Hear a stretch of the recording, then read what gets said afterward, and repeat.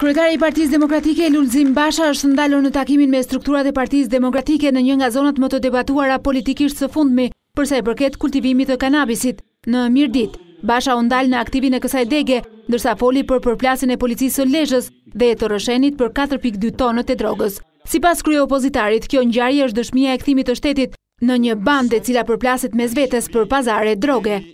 U rrethua pularia sepse ishte sinjalizuar prani e madhe e drogës. Ç'a ndodhi? Policia e Rrëshenit u tërhoq. Iku fare nga skena. Policia e Lezhës nuk pranonte të ndërhynte.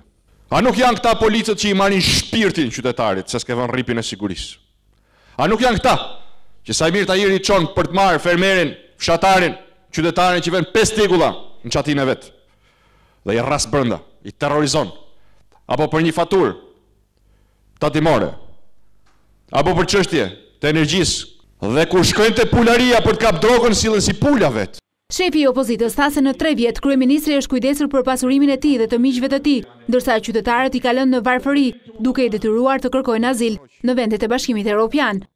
Sot në Shqipëri kemi një qeverisje e cila shqetësohet vetëm për pasurinë e vet dhe vetëm për pushtetin e vet. Sot në Shqipëri kemi një regjim i cili shqetësohet vetëm për paratë dhe pushtetin e vet.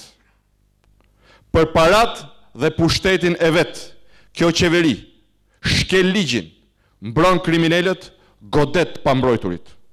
Për paratë dhe pushtetin e vet Edi Rama e ka shndërruar buxhetin e shtetit në pasurinë e tij private me të cilën pasurohet ai dhe një grusht njerëzish. Prej disa javësh, kryetari i PD-së zhvillon takime me strukturat e partisë në bazë, ndërsa diskutohet për organizimin e Partisë Demokratike, evidentohen dhe problematikat me atë që kreu i PD-së e cilëson si keqqeverisje të Ramës.